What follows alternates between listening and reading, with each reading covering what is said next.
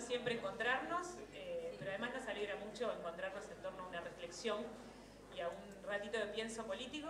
Pasamos a veces muchas horas en esta casa en cosas más operativas y concretas del todos los días y del día a día. Tener un tiempo para el pensamiento político es bien importante. Eh, yo voy a hacer un agradecimiento y un comentario y voy a empezar a presentar a, la mesa. Tenemos en la mesa a Fernando Pereira, nuestro presidente del Frente Amplio, a Liliana Brasinca, directora de Mujeres y Salud en Uruguay, y a Clara Serra, nuestra invitada más especial, que la hemos presentado en redes estos días.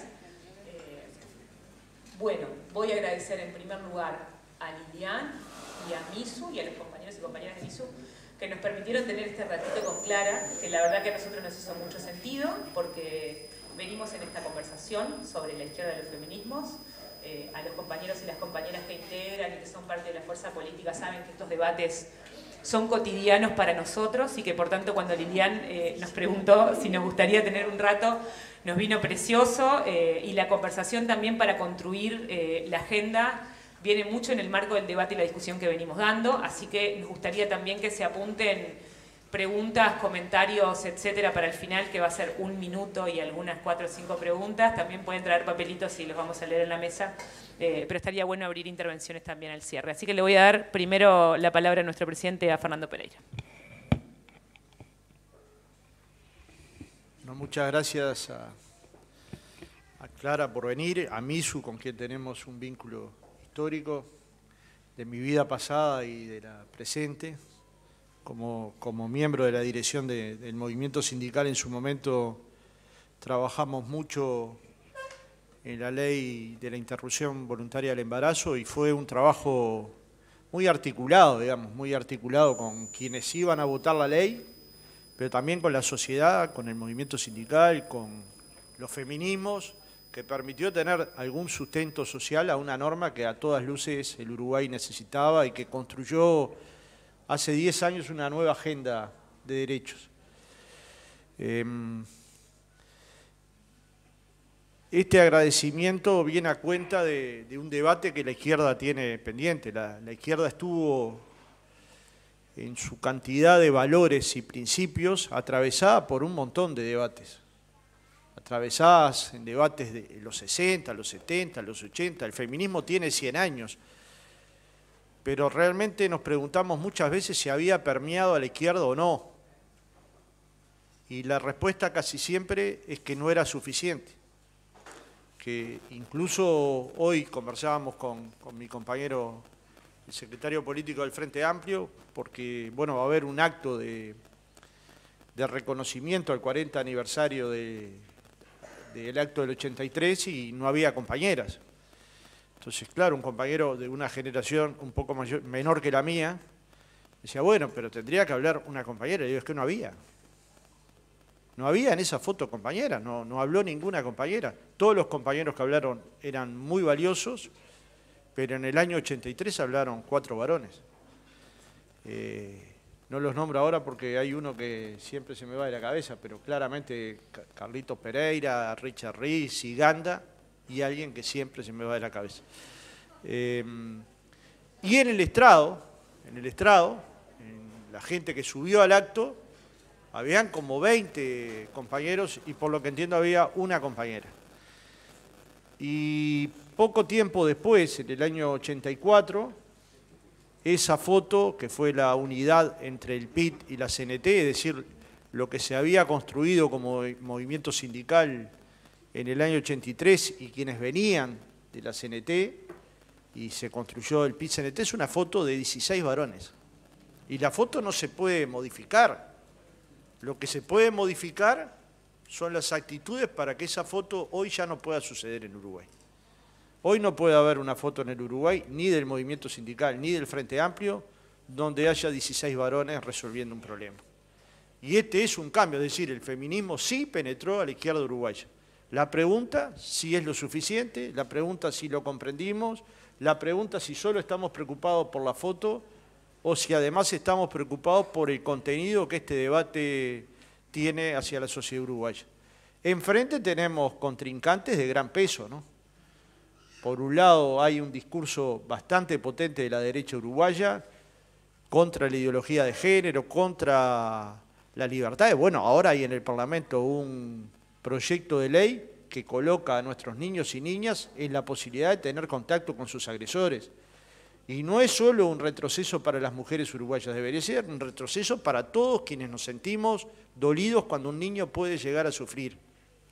Y sin embargo no hemos logrado construir todo el peso social que se requiere para que no se apruebe la ley, pero la tenemos en el límite.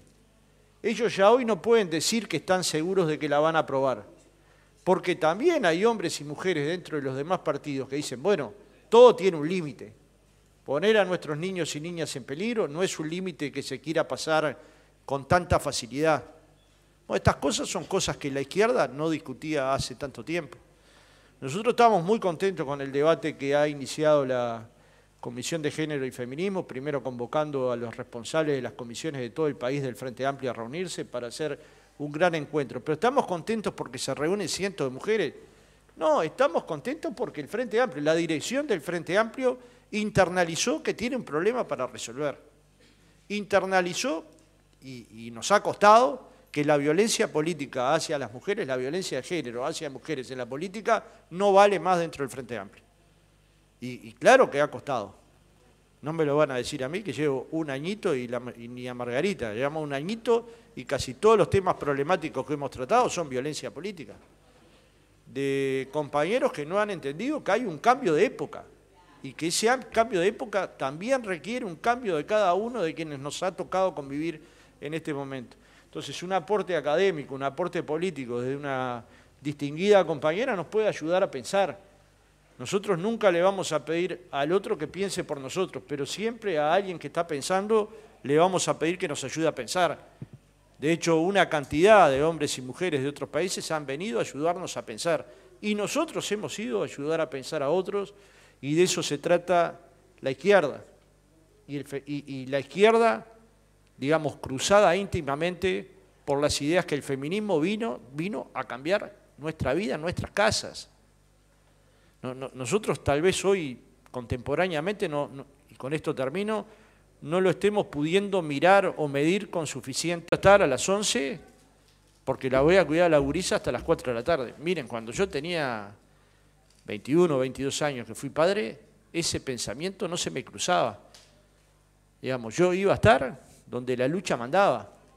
Y la corresponsabilidad entonces, ¿dónde quedaba? Bueno, nuestra generación entonces no es mejor que la generación de ahora. Por el contrario, estamos asistiendo a cambios en la convivencia que por lo menos para nosotros son bocanadas de aire. ¿Está resuelto el tema? No. Estamos, de verdad, por muchos momentos acorralados por la derecha. Por muchos momentos yo siento que al feminismo lo quieren desalentar, eh, desaconsejar, generarle la idea de lo satánico, de lo perverso, de... y en realidad es que yo creo que es el cambio más transformador que ha tenido la última parte del siglo XX y del siglo XXI.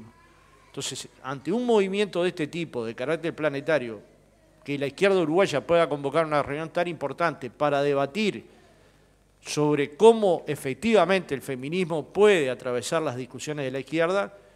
Bueno, de hecho, dije que iba a terminar con la frase anterior, pero me acordé de una más, con esta sí termino. De hecho, ayer hablando con los compañeros de la comisión de programa, que estuve conversando unas dos horas o cerca de dos horas, me decían que habían tenido aportes de la Comisión de Mujeres en todas las temáticas. Pero no me lo decían como un problema, me lo decían lo, que había favorecido el proceso de construcción del programa, que todavía le falta, pero que tiene aportes claramente organizados de una visión, de una forma de mirar el mundo que claramente tiene que, tiene que atravesar a la izquierda. Y cuando no lo atraviesa la izquierda pierde. Pero no pierden votos, pierden valores. Y la izquierda finalmente es un conjunto de valores y principios. Si fuera solamente una herramienta electoral, probablemente la mayoría de los que estamos acá no estuviéramos. Así que muchas gracias, Clara, por, invitarnos, por, invitarnos a pensar.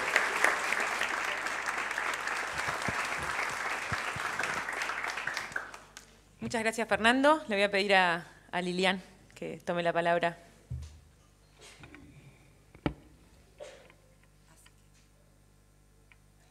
Ok. Buenas tardes. Eh, enorme gusto y enorme gusto ver esta platea llena y diversa, y donde cada vez realmente hay más varones en una convocatoria que tiene que ver sobre feminismos. Y esto me parece muy necesario. Em, yo quiero realmente decirles que superó las expectativas que tuvimos en MISU cuando resolvimos ponernos en esta locura de invitar a Clara, a la que no conocíamos personalmente, la conocíamos teóricamente, y, este, y pensamos en una cantidad de material de, Clara eh, a, nuestros debates y discusiones en el de que fue el espacio de discusión de distintos actores, era absolutamente masculina. Sin embargo, las mujeres habíamos estado en la resistencia de la dictadura, presas, desaparecidas, muertas y exiladas, y muchas resistiendo y reconstruyendo el campo popular de resistencia y de reconstrucción democrática. Justamente la salida del mundo de lo privado de mujeres como madres y familiares dan cuenta de cómo el espacio de la política, que no podía estar por el sistema autoritario, fueron las mujeres que salimos al ámbito político que históricamente en un sistema patriarcal se nos había sido negado y del cual éramos segregadas. Nos enojamos mucho y la concertación nacional programática de mujeres fue entre mujeres de todos los partidos políticos del movimiento sindical y de las organizaciones de mujeres y feministas que en ese momento estábamos en proceso de construcción. Y ese para mí fue el momento de visibilización de las mujeres de manera difícil, pero siempre tuvimos algo que el otro día Clara planteaba en el espacio que tuvimos con, la intersocial sobre un pueblo feminista, este, siempre fue un espacio integrador, siempre fue un espacio pedagógico, siempre fue un espacio fuerte, pero con mucha persistencia y paciencia. Nunca entramos al camino de la guerra entre los sexos. Y además las feministas de entonces, que no eran todas las que trabajaban por la condición de la mujer, siempre nos definimos de izquierda. Lo que no todas estábamos en la izquierda político-partidaria. Muchas de nosotras estábamos en la izquierda del campo popular. Por lo tanto, el feminismo y la razón de invitar a Clara, el feminismo al cual ascribe Misu, y el feminismo del cual muchas de nosotras formamos parte del movimiento de este país, ha sido siempre un feminismo de izquierda. El movimiento de mujeres tiene pluralidad político-partidaria. Lo que pasa es que ahora, que es fácil llamarse feminista porque el feminismo explosionó, y es hoy uno de los movimientos indiscutibles e ineludibles, no solo acá y en América Latina, sino en el mundo, justamente si hay algo que tenemos que repensarnos todos es cuál es el feminismo que abraza la izquierda. Porque hoy el feminismo se pluraliza tanto que llega a ser también feminismo de derecha. Y entonces, por lo tanto, hoy nos interpela a todas las partes el justamente delimitar de qué feminismo hablamos, cuál feminismo escribimos, cuál es el alcance de ese feminismo, cuál es el sujeto de su lucha y si solo el feminismo pelea para mejorar las condiciones de las mujeres o si el feminismo pelea por cambiar el mundo.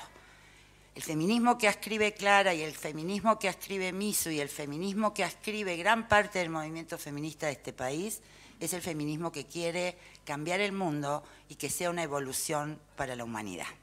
Entonces, por lo tanto, nos parecía sumamente importante en este momento en donde hace tres años que en este, en este país vivimos un deterioro aceleradísimo, no solo del respeto a las conquistas realizadas por el movimiento feminista, por el movimiento sindical, por el movimiento afrodescendiente, por el movimiento de jóvenes, por la izquierda en el gobierno, es impresionante cómo rápidamente desacelera, cómo rápidamente este, lo perfora, cómo rápidamente lo pone en cuestión y cómo rápidamente a quienes fuimos quienes impulsamos esa agenda, se nos pone como el objetivo del enemigo a destruir. Este, hoy el feminismo para los grupos de derecha, de derechas, hoy el feminismo es el nuevo comunismo a, combatir. Este, y saben que muchas veces desde esto era esperable, siempre lo hicieron.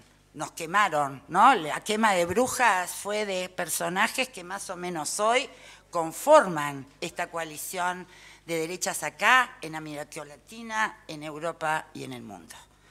O sea, lo que son capaces de hacer ya lo sabemos. Eh, no lo estamos descubriendo ahora.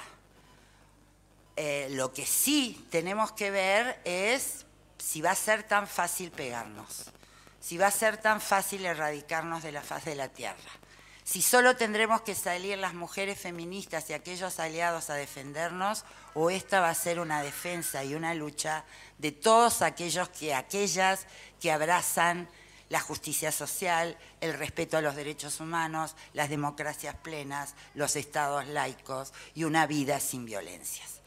Por esa razón...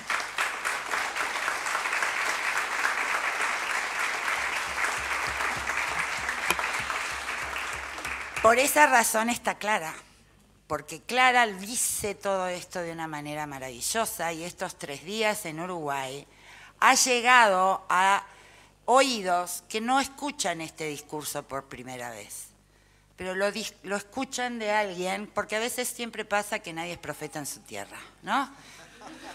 Entonces, por lo tanto, este, nosotras hemos, y yo personalmente quiero decirle, hemos sido profetas para otras compañeras en América Latina, justamente porque ellas en sus países no logran tener la atención de cuando viene alguien de afuera y dice más o menos lo mismo, o mejor dicho, mejor reflexionado, pero tiene que ver con expresiones y, acciones de feministas que estamos hoy en todos los lugares del mundo, desde los pueblos indígenas, desde las afrodescendientes, desde las migrantes, desde las que ocupan, desde las que tienen que, estar en los distintos espacios que hacen a la convivencia de la humanidad.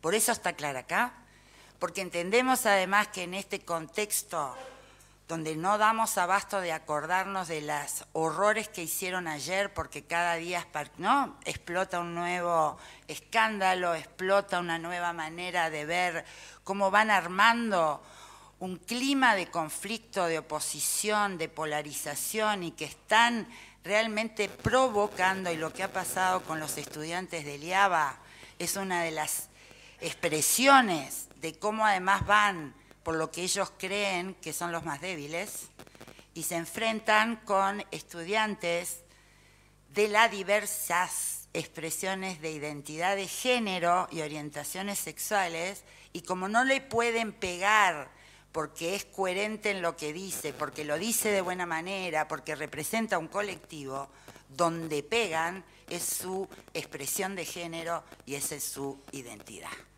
Y con cosas que son de odio, realmente increíble lo que se es capaz de decirle a un joven de 16 años que está defendiendo sus derechos y que se lo trata desde el mundo adulto como realmente este, tenemos que todos y todas preocuparnos por saber y por, por tratar de revertir.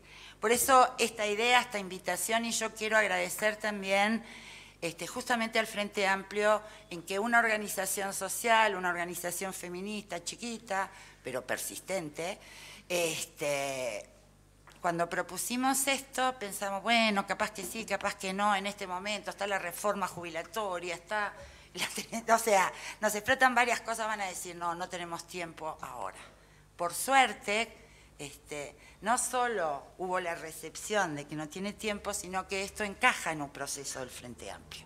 Esto encaja en un proceso del campo popular. Esto encaja en los dilemas que nos tenemos que ¿no? preparar no solo para ganar el próximo gobierno, para volvernos a plantear qué sociedad queremos, qué mundo queremos, porque quiero volver a decirle al Frente Amplio que cuando sea gobierno va a tener que volver a hacer lo que ha hecho siempre, que es hacer lo posible, pero desde los movimientos sociales vamos a estar reclamando siempre lo que es deseable. Ese es nuestro rol y esa es nuestra función.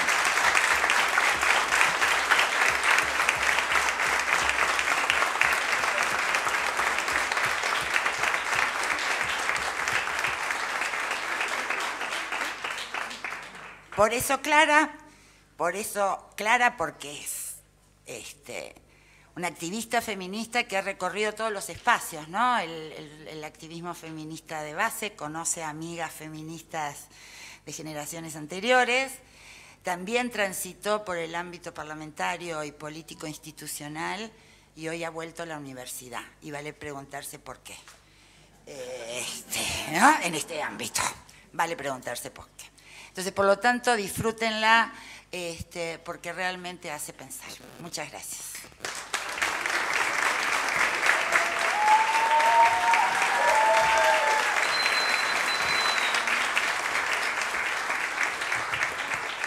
Bueno, muchas gracias a Lilian eh, y también decirle que que para las compañeras del movimiento siempre está abierta la puerta del Frente Amplio y que para nosotras en realidad también es un gusto y es un honor que las compañeras nos inviten a hacer cosas en nuestra casa eh, y que ese es el vínculo que queremos tener y construir. Yo solo voy a decir una cosa antes de presentar a Clara, que es que veo muchas compañeras de la comisión, somos muchas las militantes feministas frente amplistas durante muchos años, no veo a la Marga acá cerca, pero sé que andan un montón de compañeras acá, tenemos, ahí va, ahí está la Margarita tenemos 30, 40 años, o sea, la historia del Frente Amplio también es la historia de las mujeres, también ha sido la historia de la resistencia feminista, eh, y creo que un poco lo que hemos empezado a discutir en este último tramo eh, con las compañeras de la comisión eh, es, bueno, cómo hacemos que esos feminismos distintos, las diversidades generacionales de forma de, de debate y de discusión, confluyan en un espacio único, digamos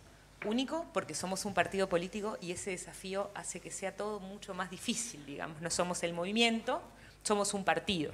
Entonces, nosotras venimos construyendo un espacio de encuentro, digamos, de alguna manera, y lo que queremos construir es un gran encuentro nacional. Ahí veo a Mariela, hasta la Sole, por allá las compañeras que Marisa, que han metido mucho cuerpo en la organización del encuentro.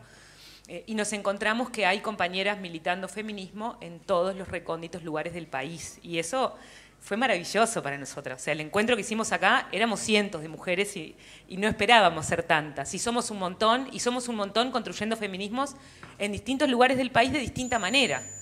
Entonces, la pregunta eh, que nosotros nos hacíamos y conversábamos con Liliana ante la invitación es, bueno, pero ¿qué feminismos estamos construyendo? ¿Y cómo construimos esos feminismos? ¿Y entre quiénes construimos esos feminismos? ¿Y a quién invitamos a conversar sobre eso?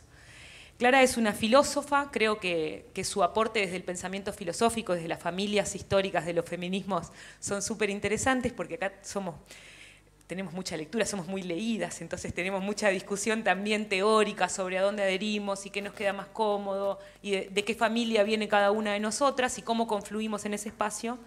Eh, pero también es una mujer que tiene experiencia de la práctica política y de la vivencia de la política de los partidos que es una forma de hacer feminismo distinta, que tiene sus, dificultades concretas, pero que también nos presenta y nos postula un desafío interesante, que es permear todas las agendas, y eso es a lo que ¿no? Fernando hablaba de las compañeras que están militando el programa, decirles que si en todas las comisiones del programa hay enfoque de género, es porque hay un mundo de compañeras poniendo cuerpo cotidianamente para que todas las discusiones se miren con perspectiva de género y, que eso construya un frente amplio que pueda mirar desde este lugar, y eso es para nosotras un logro colectivo de esta época. Lo que pretendemos, primero decir que hay compañeras mirando de todo el país, porque estamos en Montevideo, no todas pudieron venir, pero la transmisión está saliendo en todo el país. Queremos que esto sea un insumo para la discusión de nosotras. Nosotros un poco le decíamos a Lilian que queremos hacer talleres con disparadores, ¿no? En algún momento también invitamos a otros compañeros, otras compañeras a venir a discutir acá, bueno, cuenten cosas y después discutimos y que se abra la palabra y que creemos que además este ratito de Clara nos va a servir y le vamos a sacar un jugo durante unos meses más en la discusión. Así que muy bienvenida a nuestra casa, bienvenida a la casa de, la izquierda unitaria de este país. Eh, y bueno, y muchas gracias a todos por venir. Divina esta sala llena, se ve precioso y gracias a Clara.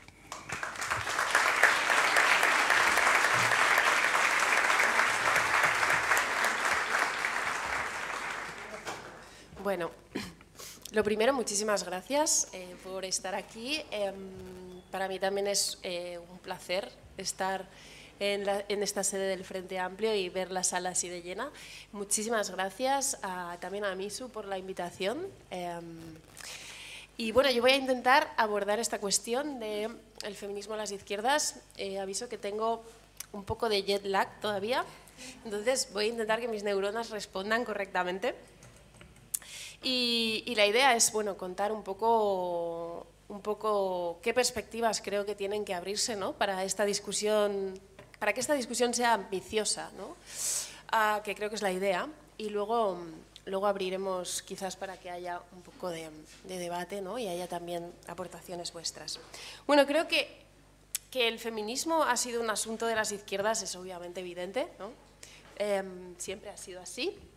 Em, con sus tensiones, evidentemente, con sus conflictos, con sus dobles militancias para las mujeres que han participado en la izquierda, en los partidos, en las organizaciones, pero siempre ha habido pues, un camino, ¿no? siempre hemos caminado juntos. ¿no? La cuestión, yo creo, hoy es en qué coyuntura actual, en qué momento político concreto estamos eh, y, qué, y qué significa, digamos, el momento presente para poder repensar correctamente eh, esta, esta, cuestión ¿no? y esta relación ¿no? entre el feminismo y las izquierdas. Em, creo que una de las cosas mm, que es evidente, antes lo decía Lilian, ¿no? el, feminismo es uno de los movimientos indiscutibles de los últimos años, de la última década fundamentalmente. Eh, el, movimiento, el feminismo ha sido un movimiento enormemente hegemónico, enormemente capaz de eh, romper ciertas barreras, trascender ciertos límites, ha salido de los despachos académicos, ha salido de las militancias eh, más expertas, más documentadas, de esos lugares donde hemos leído muchos libros de feminismo ¿no? y sabíamos mucho de Simone de Beauvoir. Bueno, ha roto eso, eh, ha salido de los ámbitos meramente militantes ha salido de los partidos políticos, ha llegado a ser una conversación que interesa a la gente. ¿no? Em, y desde luego ha demostrado en los últimos años una gran capacidad de movilización social eh, y ha demostrado ser protagonista en los debates públicos, en los debates incluso más cotidianos. ¿no? Y en ese sentido ha devenido algo hegemónico y algo popular. Y eso abre enormes oportunidades para las izquierdas, ¿no? porque abre un gran margen para hacer política desde ese, desde ese lugar. Eh, pero genera también una serie de cosas, evidentemente, ¿no? esa hegemonía del feminismo. Mm, una cosa que creo que es profundamente positiva, pero que va a generar sus tensiones, es que cuando el feminismo deviene un asunto político central, un asunto que no puede ser esquivado, algo que en cualquier organización, partido político pasa a ser algo de lo que hay que tener un programa, una opinión, una perspectiva, algo que está demandado, ¿no? como que aparezca permanentemente, em, ya no puede seguir siendo un asunto sectorial o un asunto particular, ya no puede seguir siendo un asunto subalterno, ya no puede seguir ocupando una posición menor, ya no puede ser eso que sí, en los partidos de izquierdas y en las organizaciones, evidentemente, siempre ha habido una sección feminista, un grupo feminista, un grupo de mujeres, pero muchas veces han sido, y por eso ha habido una doble militancia, muchas veces las mujeres han tenido que pelear por no estar en una esquina o no estar en un rincón.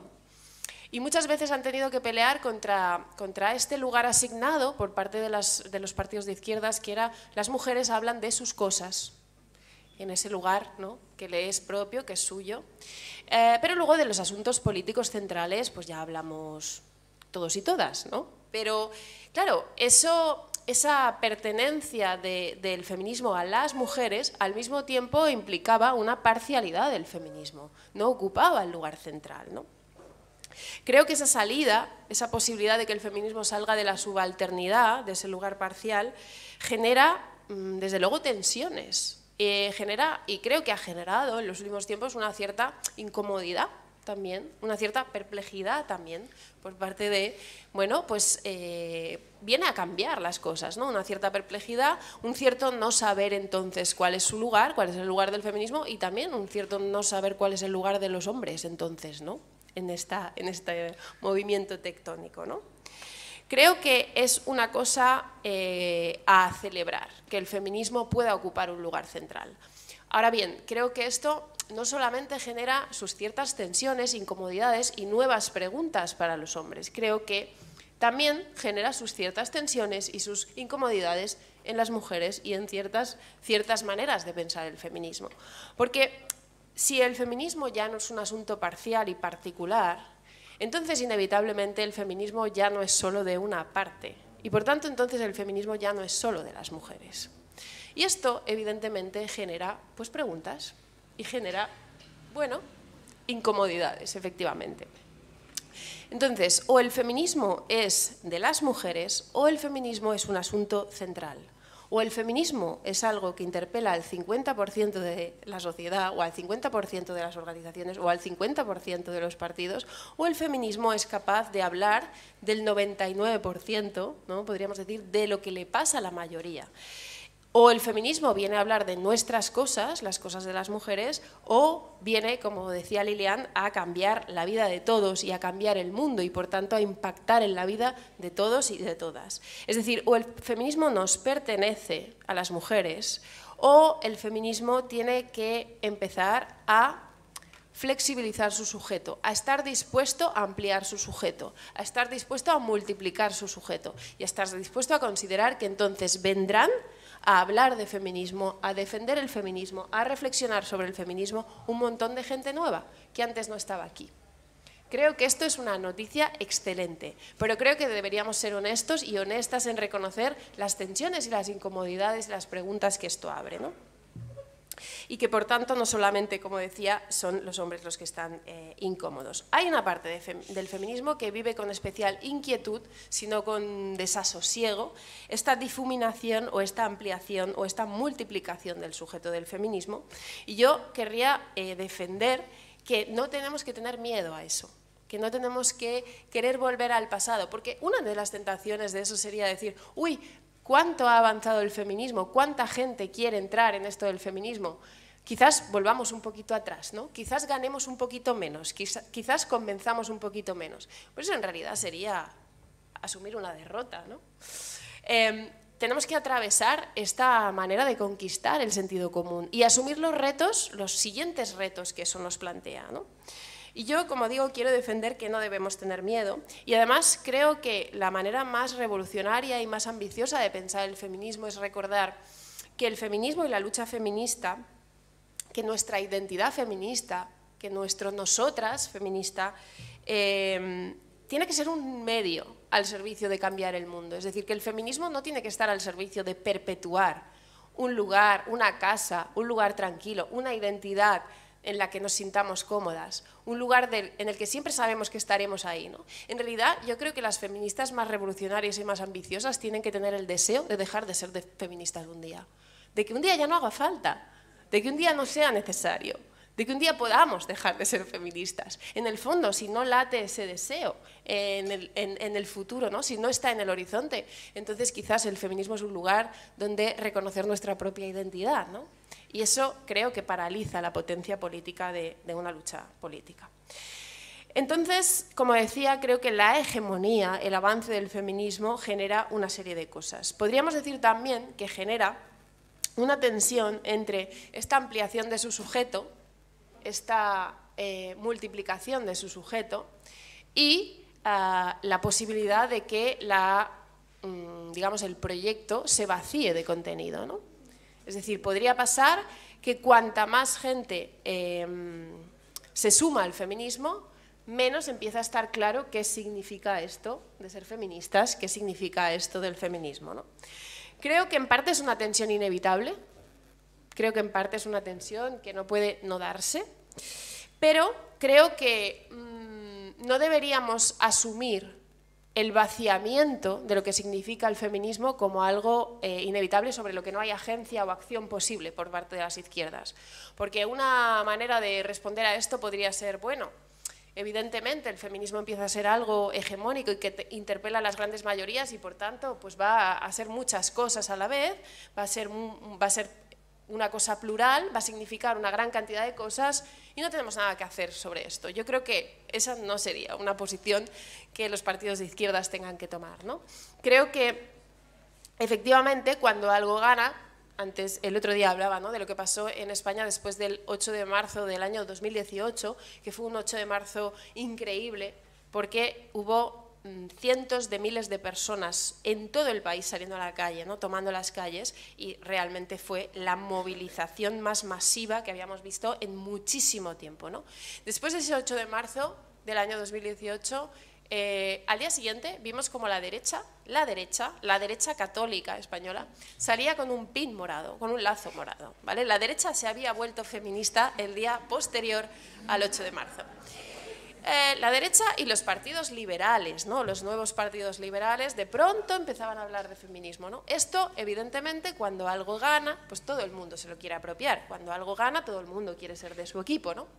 Eh, así que hoy en día perfectamente podemos asistir a una disputa por parte de la derecha a veces podríamos entrar en esta cuestión, incluso la ultraderecha utiliza instrumentaliza la defensa de los derechos de las mujeres para hacer ciertos discursos de ultraderecha, para hacer discursos reaccionarios, para hacer discursos racistas eh, y por tanto, evidentemente es un continente en el que caben muchas cosas si miramos a sus usos actuales. Así que, en este contexto de posibilidad de vaciamiento, ¿qué tienen que hacer las izquierdas? ¿Qué tenemos que hacer? Creo que al mismo tiempo que ampliamos las fronteras del sujeto, al mismo tiempo que hacemos ese movimiento, digamos, de apertura en cuanto a quiénes podemos ser feministas, es fundamental que hagamos un, trabajo político por densificar, por dotar de contenido, por dotar de significado revolucionario y radical a eh, eso que significa el feminismo. Y en ese sentido es un movimiento de cierre. Tiene que haber un movimiento de apertura y tiene que haber un movimiento de cierre. Y ambas cosas tienen que hacerse a la vez. Así que hoy en esta disputa ¿no? del feminismo y de la posibilidad de su vaciamiento, la posibilidad de su instrumentalización por parte de las derechas o de las ultraderechas, como decíamos todo el rato, la pregunta inevitable, urgente, ineludible para los partidos de izquierdas es ¿qué feminismo van a defender las izquierdas? Y, como decía, em, si el feminismo es una lucha central para las izquierdas, em, tiene que ser porque está en condiciones de abordar los grandes retos que tienen delante de sí las izquierdas hoy en día. ¿no? Evidentemente tiene que tener ante sí el reto de combatir el neoliberalismo. Un feminismo que las izquierdas tengan que defender tiene que ser un feminismo que tenga enfrente el proyecto neoliberal. Eso quiere decir, eso quiere decir que el feminismo no puede ser solamente algo que los partidos neoliberales y que los proyectos neoliberales puedan abanderar. Y en esta cuestión eh, creo que es eh, muy importante atender a qué usos ha hecho el neoliberalismo del feminismo en las últimas décadas. El neoliberalismo está muy cómodo, por ejemplo, defendiendo la presencia de mujeres en ciertos espacios.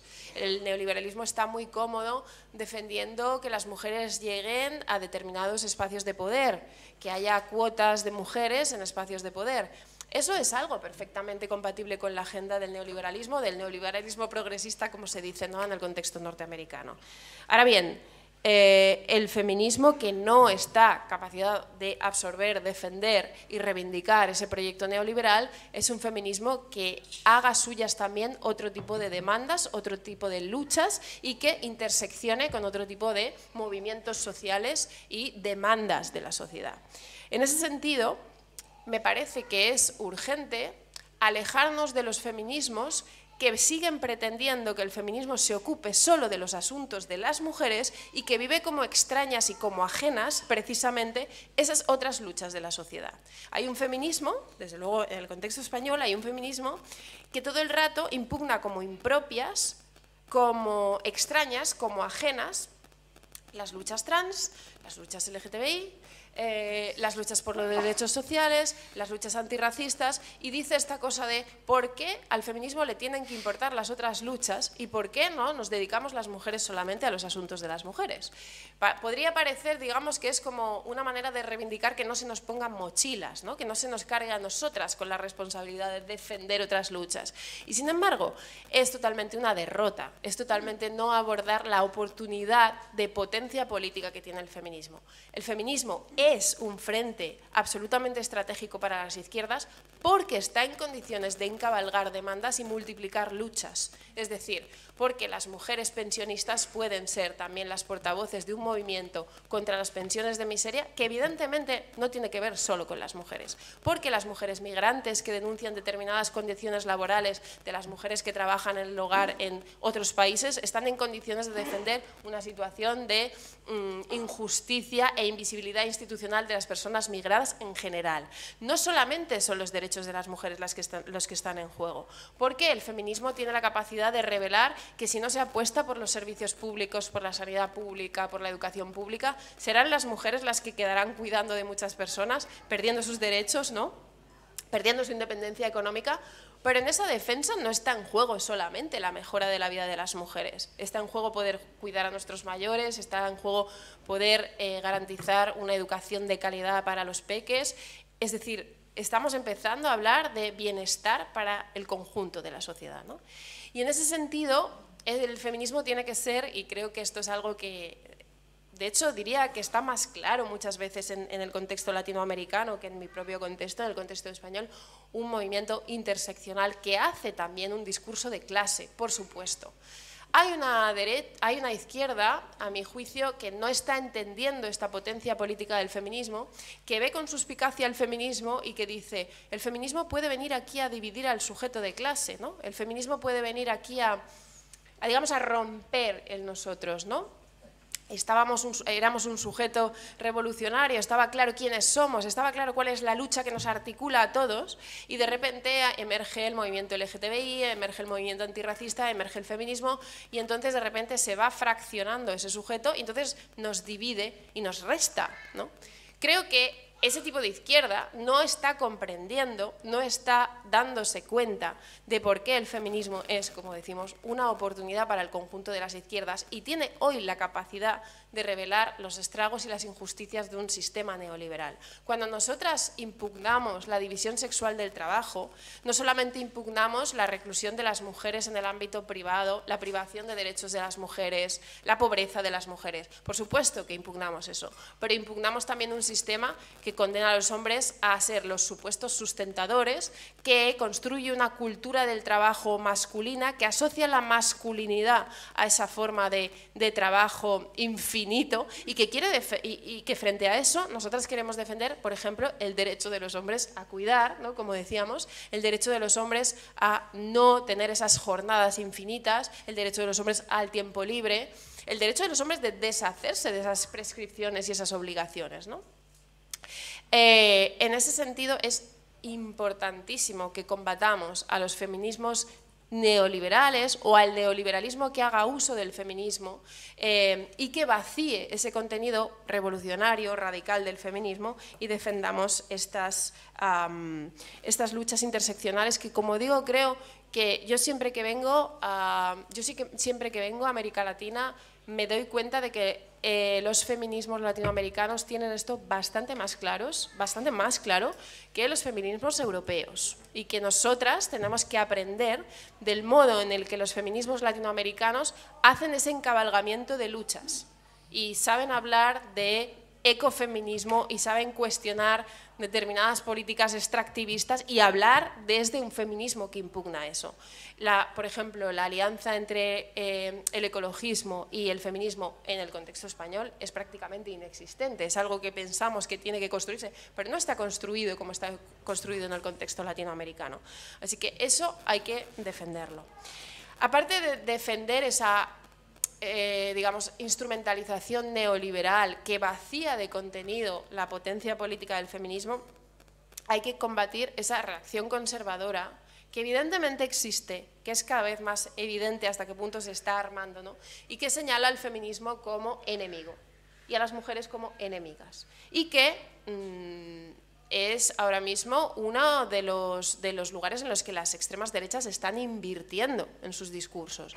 El voto a las extremas derechas es en general, como una constante, bastante, bastante constante, que se repite bastante en distintos países y contextos, un voto hipermasculinizado hay una extrema derecha que sabe que está hablándole a los hombres y que pretende poner a los hombres en contra de las mujeres y que pretende, eh, digamos, explotar este relato de la guerra de sexos, de ellas vienen contra nosotros, nosotros tenemos que defendernos contra ellas. En este sentido, eh, uno de los retos de los feminismos que las izquierdas defiendan hoy en día tiene que ser defender feminismos que escapen por completo a las lógicas reaccionarias. A las lógicas reaccionarias quiere decir, en primer lugar, escapar a los identitarismos y a los esencialismos que evidentemente forman parte de eh, las derechas. ¿no? Esta promesa como de identidad fija, sólida, fuerte, de identidades naturales, ¿no? de identidades... Em, de identidades del pasado en realidad. ¿no? Hay una derecha que dice, frente a este mundo incierto, inseguro y precario, te prometo que seguirás siendo el hombre ese de antes, y entonces nos quedamos tranquilos. ¿no? Esa promesa de identidad, esa promesa de seguridad, esa manera securitaria, en realidad, ¿no? de, calmar, digamos, las ansiedades de un mundo con incertidumbres, em, no puede ser reproducida por las izquierdas y por los feminismos. Y en este sentido hay que cuestionar y criticar feminismos que están volviendo a esencialismos, biologicismos, a identidades fuertes de lo que significa ser mujeres, a maneras biologicistas de, de definir a las mujeres y que parece que comparten esta misma ansiedad con las derechas por esta pérdida, por esta difuminación de las identidades. ¿no? Las identidades son fundamentales para hacer política, pero creerlas de una manera, de una manera mística, de una manera religiosa, es conservador. ¿no?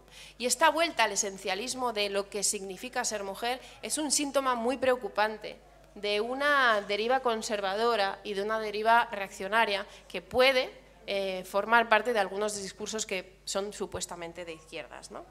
Em, por otra parte, eh, como decía antes, eh, los feminismos que enfrenten a las derechas y a las fuerzas reaccionarias no pueden nunca comprar el marco de la guerra de sexos. No pueden comprar este marco. Una de las cosas imprescindibles de las izquierdas frente a sus adversarios o sus enemigos políticos es no compartir los marcos. No se puede trazar la sociedad en los mismos bandos que lo está trazando la derecha y la extrema derecha. Si eh, si volvemos a dibujar las fronteras tal y como lo dibujan ellos, es que algo va mal. Y evidentemente la derecha quiere trazar la, la línea divisoria entre amigos y enemigos, entre hombres y mujeres. Así que esto creo que nos pone ante una necesidad de romper esas fronteras. El enemigo no es el hombre, el enemigo es el patriarcado, el enemigo es el machismo, el enemigo es una cultura patriarcal pero el enemigo no son los hombres.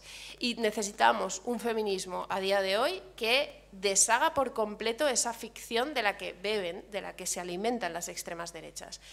Mm, Bell Hooks, por ejemplo, es una autora, creo que de las más interesantes políticamente para pensar esto, que siempre vino a cuestionar a los feminismos que estaban empeñados en señalar al hombre como enemigo.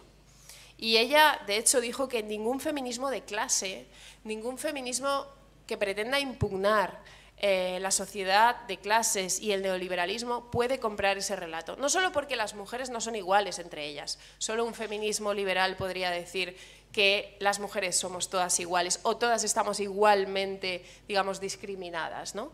Como ha recordado el feminismo negro o el feminismo de clase, no todas las mujeres vivimos las mismas circunstancias. Y homogeneizar en exceso a las mujeres, es decir, que la, que la divisoria fundamental sea hombres o mujeres, homogeneiza al sujeto mujer y por tanto invisibiliza las desigualdades que hay en el interior de las mujeres. Invisibiliza exclusiones, invisibiliza injusticias en el interior de las mujeres. Bell Hooks diría, no todas las mujeres estamos en las mismas condiciones.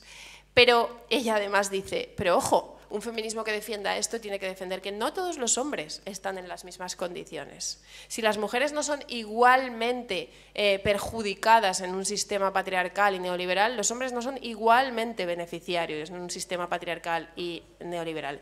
Y con esto dijo una cosa muy incómoda para ciertos feminismos, ¿no?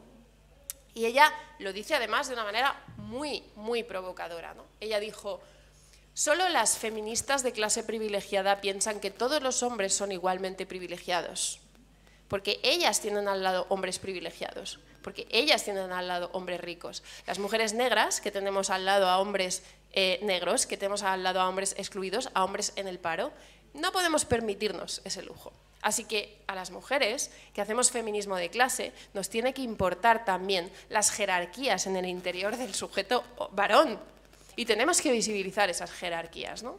Y esto es también decir que el sistema patriarcal, para Bell Hooks, para Rita Segato también, genera relaciones de dominación y de desigualdad en el interior de los hombres y genera relaciones de violencia entre los hombres. Y creo que esto plantea un reto imprescindible también para hacer frente a esas extremas derechas. Cuando las feministas defendemos que queremos acabar con un sistema patriarcal, también estamos defendiendo que queremos acabar con la humillación masculina que unos hombres ejercen contra otros. También queremos defender que no queremos un mundo en donde el jefe, el jefe poderoso, humille a su empleado. Que eso también es patriarcal que eso también forma parte de un mundo donde el poder se entiende de forma patriarcal. Eh, eso tiene que ser nombrado por el feminismo. La violencia entre los propios hombres tiene que ser nombrado por el feminismo. Y si os fijáis, hay una curiosa... bueno, hay un abandono por parte de ciertos feminismos de, nombrar estos problemas que hace que sean las extremas derechas muchas veces las que nombran malestares masculinos que tienen que ver con el patriarcado. ¿no?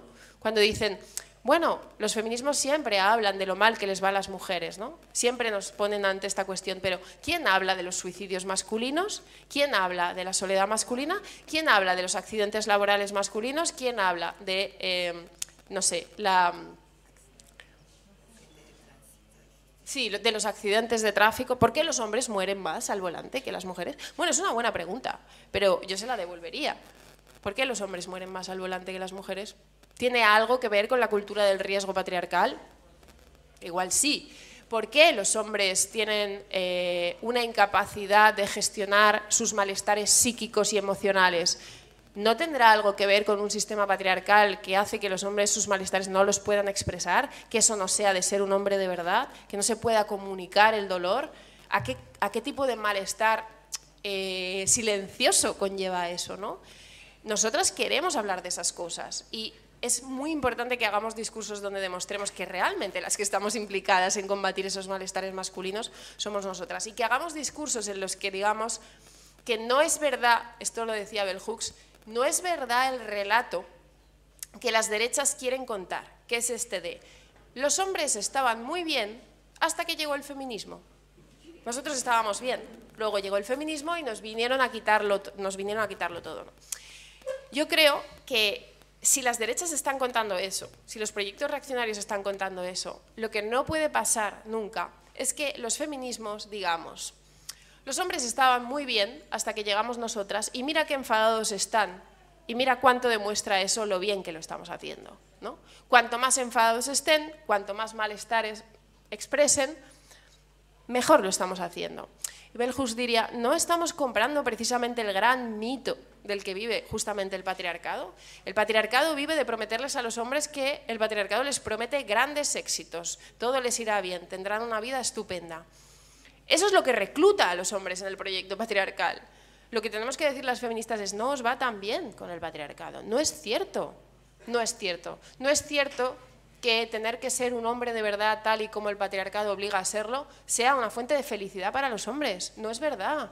No es verdad. Tener que estar defendiendo la hombría, la masculinidad, tener que estar todo el rato reafirmando la masculinidad, tener que vivir con miedo a perder permanentemente la masculinidad, tener que demostrar ante los otros varones que se sigue siendo un tío, un macho, tener que maltratar a otras y a otros para serlo, no es fuente de felicidad para los hombres. Así que es el feminismo el que viene a reivindicar la posibilidad para los hombres de ser más libres Y tenemos que decir que aparte de que el feminismo viene a cuestionar privilegios, porque evidentemente lo hace, y evidentemente va a implicar que los hombres tengan que desocupar ciertos espacios que han ocupado, evidentemente es así, eso no quiere decir que no vayan a ganar muchas cosas, eso no quiere decir que no vayan a ganar maneras más libres de ser. Y es problemático pensar esto de que el feminismo viene solo a liberar a las mujeres. Es, no es cierto. Y de hecho, si las mujeres nos liberamos, pero los hombres no, creo que no acabamos con el patriarcado. Mm, creo que el patriarcado es un sistema de género e impone unas relaciones de género. Y hay dos géneros, por lo menos, que se imponen. Y por tanto, el combate feminista es contra esas prescripciones, esas obligaciones, esas prohibiciones y esos castigos para unas y para otros. Y esto tiene que ser un discurso que convenza a los hombres de que hay un proyecto en el que ellos tienen algo que ganar, ¿no? Una libertad propia que defender. Y no solamente va de que los hombres condescendientemente, siendo súper generosos, eh, nos ayuden a nosotras a conquistar nuestra libertad. Creo que hay una libertad suya que está en juego aquí, ¿no? Em, por otra parte, lo que tampoco puede ser un feminismo que esté en condiciones de combatir a los proyectos reaccionarios, a las derechas, a las extremas derechas, es un proyecto político punitivo. Es un proyecto político que todo el rato piense que los problemas sociales que estamos abordando, que las violencias, por ejemplo, que estamos cuestionando, que estamos señalando, que estamos criticando. Llevamos muchos años poniendo la cuestión de la violencia en el centro de la agenda. Hemos, hemos vivido movilizaciones masivas contra la violencia machista, contra la violencia contra las mujeres. Bueno, lo que no puede ser es que la denuncia de esa forma de violencia patriarcal acabe confundiéndonos eh, y metiéndonos en una trampa para ratones, por la cual al final las feministas o los feminismos acabamos pensando que la solución a eso es el Código Penal. Forma parte de las derechas y de los proyectos reaccionarios pensar que los problemas sociales se solucionan con Código Penal, castigo y cárcel. Eso siempre ha sido así. Y desde luego las extremas derechas actuales en el mundo de hoy tienen ese proyecto, está clarísimo.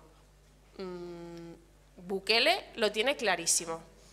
Las extremas derechas europeas lo tienen clarísimo. Tienen clarísimo que cuando gobiernen impondrán esas recetas. Tienen clarísimo que cuando gobiernen ampliarán los códigos penales. ¿Qué van a hacer las izquierdas para construir otro mundo y otro sentido común? ¿Qué van a hacer las izquierdas para protegernos y vacunarnos de ese avance de la derecha?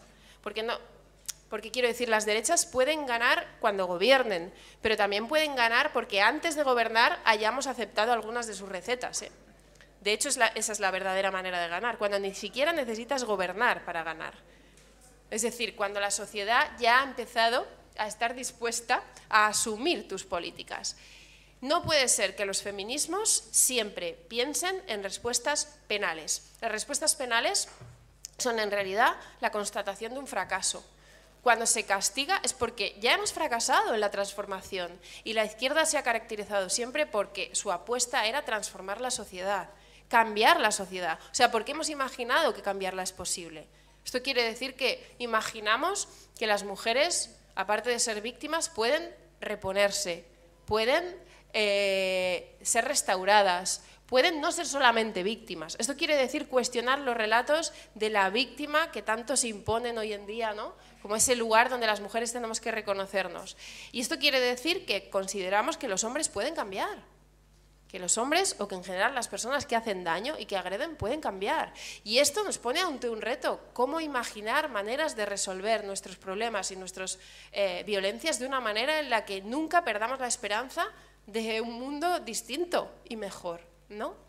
Em, creo que es uno de los grandes retos actuales en un mundo en el que, desde luego, desde luego, esto tiene que ver profundamente con el avance del neoliberalismo. Es decir, cuando, em, cuando los estados se retiran como garantes de derechos, cuando el estado de bienestar se retrae, cuando los estados dejan de apostar por ampliar derechos, ampliar servicios públicos, por combatir la, bueno, por eh, garantizar la redistribución de la riqueza. Cuando los estados dejan de hacer eso, cuando se retiran, cuando avanza el neoliberalismo, entonces los estados, en vez de garantizar derechos o en vez de ampliar derechos, empiezan a ampliar delitos. y empiezan a prometer la seguridad a sus, a sus ciudadanías diciendo te salvaré de esas personas malas que son criminales y por tanto les meteremos en la cárcel. Pero eso es una trampa, es una trampa del neoliberalismo y es una trampa de los proyectos reaccionarios la apuesta por la seguridad, el combate contra la inseguridad, la incertidumbre y la precariedad de las izquierdas es la ampliación de derechos, no la ampliación de delitos. Y es preocupante que en las últimas décadas muchos de los códigos penales de muchos de nuestros países se hayan ido ampliando. Es el caso, desde luego, del Código Penal español, que a día de hoy está mucho más sobrecargado que en el final de la dictadura de Franco. O sea, las décadas posteriores a la dictadura siempre han supuesto una ampliación del Código Penal y ahora mismo asistimos, en el contexto español, a un debate sobre una ley de violencia sexual que va a ampliar de nuevo el Código Penal. Esto nos está llevando a un debate entre las feministas, porque algunas pensamos que esa no es la receta, que no se soluciona con más penas. Y creo que es una situación problemática compartida. Yo cuando estuve en Chile recientemente, en verano, eh, creo que este es también un atolladero de, algunos contextos latinoamericanos. Em, en Chile, por ejemplo, había estos lemas de 20 años no es suficiente. ¿no? Y yo pensaba, ¿y eso qué quiere decir? ¿Que 30 sí es suficiente? ¿Que 40 sí es suficiente? Claro, pero en realidad eso es lo que nos resulta suficiente. Eh, cómo estamos perdiendo de vista qué es lo que queremos, qué es lo que deseamos, ¿no? ¿Qué, cuál es nuestra apuesta realmente ambiciosa. Y claro, las políticas de transformación, sobre todo de problemas estructurales como es el patriarcado, tienen siempre que ver con apuestas por la educación, por el cambio de los sentidos comunes, por batallas culturales. Por cierto, políticas que siempre son más caras que el Código Penal, que reformar el Código Penal siempre es muy barato para algunos gobiernos. Y cuando hay políticas de austeridad y de ajuste, los códigos penales pueden seguir estando o pueden incluso ampliarse. Lo que decae, lo que desaparece es la apuesta por servicios públicos y ampliación de derechos garantizados. Entonces creo que esta es otra de las cuestiones por las que no debemos ir, por las que no debemos ir los feminismos. En general, este creciente avance de posiciones identitarias reaccionarias está haciendo, creo, que haya una manera de entender la política por la cual creemos que los verdaderos sujetos de las luchas políticas son los sujetos agraviados, son las víctimas de esas luchas políticas. Y esto creo que está llevando a las izquierdas muchas veces a una especie de competición, ¿no? A ver quién es más víctima. Eh, una especie además de competición enormemente solipsista, ¿no? como si dijéramos, mi dolor es este, mi daño es este y tú no me puedes comprender. ¿no? Y por tanto mi lucha es este, tú batalla la tuya, que eres otro sujeto. ¿no? Creo que esta manera de pensar la identidad nos está encerrando en, compartimentos estancos y en realidad nos pone a, pelear a los de abajo contra los de abajo. ¿no? En realidad, de nuevo, ¿cuál es la apuesta revolucionaria y ambiciosa? En realidad siempre fue que es posible ponerse en el lugar del otro. E, es, es que no, no debemos dejar de creer eso. Es que cuando hayamos dejado de creer que es posible ponerse en el lugar del otro, o que es posible luchar por injusticias de las que tú no eres el principal dañado o afectado, cuando empecemos a pensar eso, ya habremos asumido la derrota total. Las izquierdas tienen que creer que puedo implicarme en la lucha por la vivienda aunque yo no haya sido desahuciada o yo no esté en riesgo de perder mi casa, evidentemente. Y de la misma manera puedo implicarme en la lucha de las personas trans sin ser una persona trans. Puedo implicarme, como se implicaron las mujeres lesbianas en la lucha contra el SIDA, como las primeras, en la primera línea de batalla fueron las mujeres lesbianas, no eran las mujeres con VIH y SIDA, y fueron las que dieron la batalla. Pero ¿cómo puede ser que hoy en día estemos pensando que las luchas les pertenecen en exclusiva a unos determinados sujetos y que no tienen entrada el resto de sujetos? O sea, ¿qué tipo de batalla de unos contra otros es esta? ¿no? Entonces, esas posiciones nos debilitan y creo que al contrario, tenemos que defender una lucha donde se multipliquen las luchas y, por tanto, el sujeto sea siempre mestizo. Bienvenido sea todo aquel que va a defender un proyecto político, siempre y cuando sea un proyecto político que nos une. ¿no? Es decir, el criterio no puede ser la identidad del nosotros, tú cabes, tú no cabes. El criterio no puede ser eh, batallar o o, resguardar ¿no? o vigilar las fronteras del sujeto. Tú eres bienvenido, tú no eres bienvenido. El criterio debe ser, oye, ¿estamos unidos en algo que realmente deseamos construir juntos y juntas? El criterio debe ser el proyecto político. Este debe ser el criterio fundamental. Y creo que nos jugamos muchísimo en esta cuestión, en esta, en esta pregunta acerca de qué feminismo vamos a hacer, nos jugamos muchísimo las mujeres, porque en realidad de qué feminismo hagamos dependerá el éxito que tengamos. O sea, nos jugamos muchísimo, ¿eh? porque de hacer ciertos feminismos puede depender que, ganemos o que perdamos en un contexto en el que vendrán unos proyectos reaccionarios y de derecha que van a venirnos a quitarlo todo, a quitárnoslo todo. Así que nos jugamos mucho las mujeres, pero nos jugamos mucho las izquierdas en general. Y creo que los partidos de izquierda, los dirigentes hombres, tienen que entender lo mucho que nos jugamos en hacer un feminismo u otro. ¿no? Y para acabar, tres ideas, y ya abrimos el turno de palabra.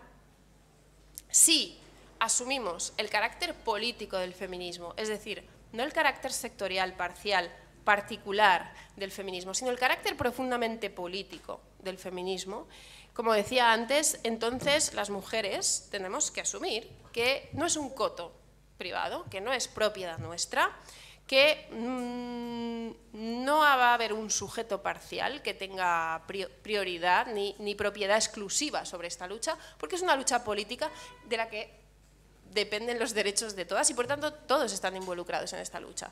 Pero los hombres también van a tener que asumir cosas. En realidad, a veces no contamos esto, parece que nosotras tenemos que... No, ellos también van a tener que asumir cosas.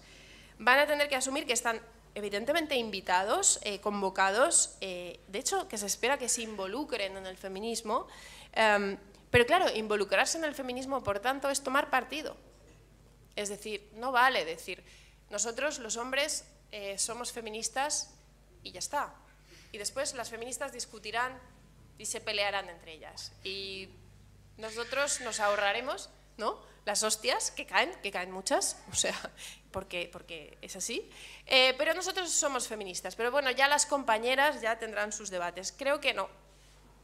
Lamentablemente me temo que no. O sea, que involucrarse hoy en día en el feminismo va a ser tomar partido tomar partido en estos debates, defender unos feminismos y no otros feminismos, defender unos feminismos inclusivos que sean capaces de multiplicar su sujeto y defender, por ejemplo, los derechos de las personas trans y, por tanto, no defender otros feminismos. Y, por tanto, esto es pringarse en el feminismo. No viene esto del feminismo sin mancharse las manos, involucrarse de verdad en esto. Y creo que los dirigentes de izquierdas varones tienen que asumir esta esta parte del asunto, esta parte de, lo que significa involucrarse de verdad, es decir, saber qué feminismo necesitamos y defenderlo.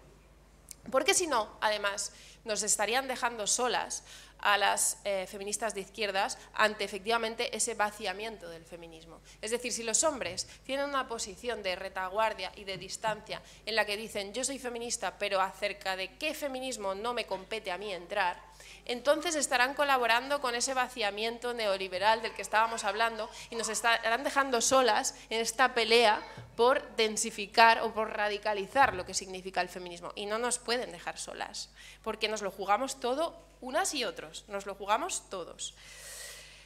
En segundo lugar, la penúltima idea que quería decir es que esto de apostar por unos feminismos y no otros, eh, creo que mm, en el contexto, en este contexto, en el contexto latinoamericano, implica además, implica además, muchas veces eh, no apostar por algunos feminismos que pueden parecer hegemónicos, que vienen con mucha fuerza, que tienen muchos altavoces, pero que no son los feminismos que en el contexto latinoamericano son más interesantes. Y con esto quiero decir que yo sé que hay muchas feministas españolas de mi país que vienen a México, a Argentina, a exportar un tipo de feminismo. Vienen a exportar un tipo de feminismo. Por ejemplo, vienen a exportar un feminismo que dice que están siendo borradas las mujeres y que hay un gran eh, riesgo, peligro inminente de que el feminismo desaparezca porque las personas trans van a, van a hacer desaparecer a las feministas y a las mujeres. ¿no? Este feminismo tiene mucho poder y mucha influencia en América Latina, evidentemente en parte por la historia colonial que nos precede y por la fuerza y, el dominio cultural que tiene Europa muchas veces, al igual que en mi contexto, en España, viene con muchísima fuerza y con muchísimo dominio cultural el feminismo norteamericano, que llega al contexto europeo e invade muchas veces nuestros contextos con recetas políticas, con discursos políticos que no son propios que no nos son propios, que no son los mejores para pensar nuestro, nuestro contexto. Del mismo modo, hay una gran parte de feminismo que España exporta al contexto latinoamericano que no os es propio mm, y que muchas veces viene ya eh, americanizado y ya influido por debates de Estados Unidos. Y yo lo que quiero decir es que precisamente hacer esa disputa por qué feminismo es el revolucionario implica muchas veces oponerse a precisamente esos feminismos que vienen de otros lugares y que importan recetas que no nos son propias o que no son propias. Y yo quería decir que em, soy súper consciente de que España tiene un enorme poder de influencia en todo el contexto latinoamericano. Eh, sé perfectamente cómo llegan aquí los libros y las editoriales feministas eh, y, tiene esto una larga historia. Pero muchas veces necesitamos nosotras, las feministas españolas, que las feministas latinoamericanas nos salvéis de algunas derivas muy preocupantes. Eh, y necesitamos nosotras que se defiendan feminismos mucho más revolucionarios, mucho menos esencialistas, mucho menos identitarios, mucho más potentes políticamente, que son del contexto latinoamericano. O sea, el orgullo travesti de América Latina es muchísimo más interesante y más poderoso y más transformador que muchos de los discursos trans hegemónicos en, en el contexto español, que a su vez exportamos hacia acá. Eh, este feminismo interseccional con perspectiva de clase que existe en América Latina es mucho más poderoso y mucho más interesante y lo necesitaríamos nosotras, las feministas españolas en España. Es decir, esta cuestión de entrar en la disputa y de defender unos feminismos y, nosotros, y no otros también es oponerse a esa relación colonial eh, que impera, que impera en el caso del feminismo. Y por último, la tercera idea, bueno, decir que a los partidos de izquierdas eh, creo, y esto como aprendizaje también de eh, la militancia en partidos y de estar hoy en día muy cerca de partidos, por supuesto, también creo que es muy importante decirles que una apuesta comprometida por el feminismo hoy en día, en el siglo XXI, es una apuesta real por el feminismo a largo plazo.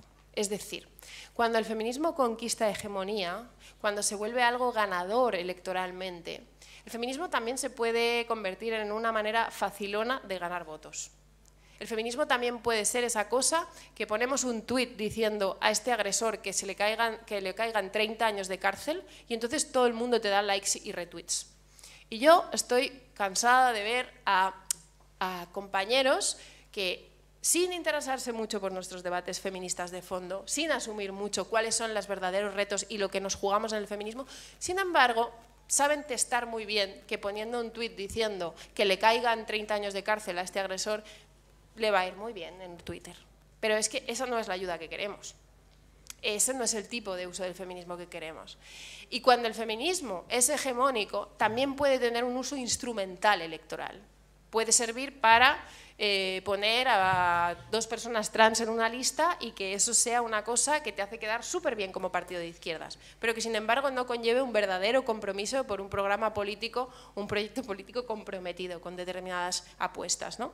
Entonces, yo quería decir que tenemos que ser también críticos con el uso electoralista, cortoplacista y superficial del feminismo hoy en día porque es evidentemente un riesgo. Y eso es pan para hoy, pero hambre para mañana, porque eso probablemente nos lleva a asumir posiciones y discursos muchas veces esencialistas, muchas veces punitivos, muchas veces victimistas, que a la larga dejan a las izquierdas mucho menos capaces de dar la batalla ideológica de fondo que tenemos que dar.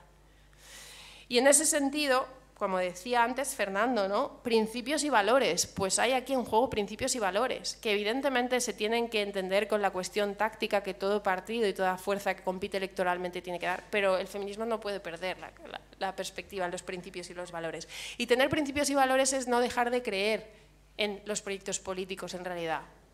O sea, yo, al final, todo esto se resume en que nos creamos de verdad los proyectos políticos. Yo me creo de verdad que el feminismo puede hacer un discurso antipunitivo y transformar, y ilusionar y emocionar. Yo me creo de verdad que precisamente el feminismo, que representa a quienes somos por por, razones patriarcales víctimas de violencia, puede salir a contestarle a la derecha y a decir vosotros queréis castigo y queréis venganza, pero nosotras no queremos castigo y venganza, queremos justicia y eso es muy distinto. Eso tiene una potencia política brutal para combatir a la extrema derecha.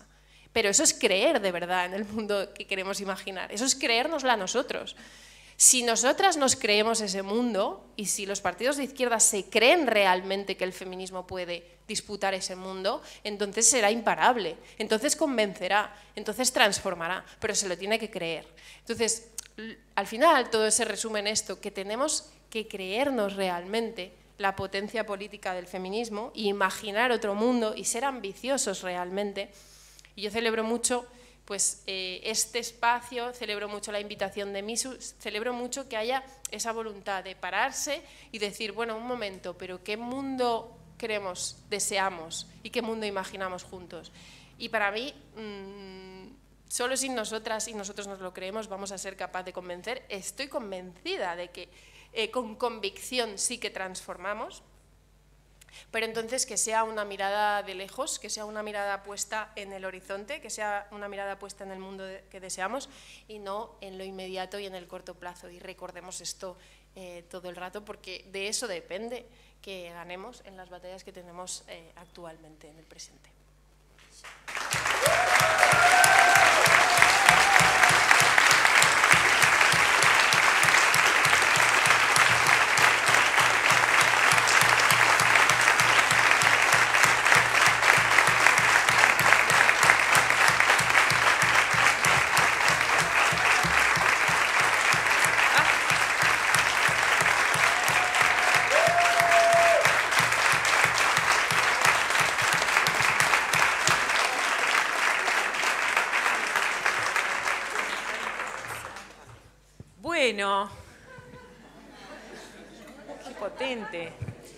Tiene idea clara todo el sentido que nos hace, ¿no? Y todas las reflexiones que nos deja en este momento de discusión política. Eh, voy a abrir la palabra. Me gustaría, eh, yo sé que siempre eh, nos cuesta empezar a hablar, pero después nos cuesta dejar de hablar. Les voy a pedir que seamos criteriosas y usemos un minuto, pero podamos hacer alguna reflexión, tres o cuatro. Sonia. Ah, ahí. Bien, gato. Hola. Bueno, primero que nada agradecerte, Clara, por la exposición que hiciste. Me parece que nos cuadra mucho eh, ideológicamente a, varios de las que estamos acá. Este, lo que sí a mí me pasaba cuando Pata decía que habíamos leído mucho, yo la verdad que no había leído nada de lo que vos escribiste o lo que vos hiciste, no tenía ni idea. De hecho, pregunté a algunas compañeras del PIT-CNT este, un poco de referencia y me pasó a encontrarme con videos tuyos este, de, charlas y de cosas que has hecho. Y, me, sorprendí viéndote argumentar eh, cuando propusiste a Podemos en su momento este, la participación de Amarna Miller en, algunas charlas y en algunos debates vinculados, es una actriz porno, este, y hablando de pornografía dentro del partido, ¿no? dentro de un partido de izquierdas. Y me pasó que cuando lo vi hace cinco años más o menos que creamos la comité feminista y le proponía a las compañeras, después de haber visto esas cosas, este, de proponer hablar dentro del Frente Amplio, vamos a hablar de pornografía, este, vamos a hablar dentro de los feminismos de pornografía. Este, y, me pasaba que era tipo impensable, hace cinco años por lo menos, hablar de esas cosas dentro del Frente Amplio, ¿no? Este, y ahí me di cuenta un poco que sí te conocía y sí había, este, tenía esas referencias. Entonces me gustaría saber si vos nos podés contar un poco esa experiencia, pero también de por qué entendés o por qué entendiste en ese momento de que era importante desde esa perspectiva, desde, cuestionar o desde pensar la pornografía, este, ¿qué le aportaba eso a un partido de izquierdas? Gracias, Sonia. Leti. Pasa, para, pasa el micrófono acá, gato. Leti.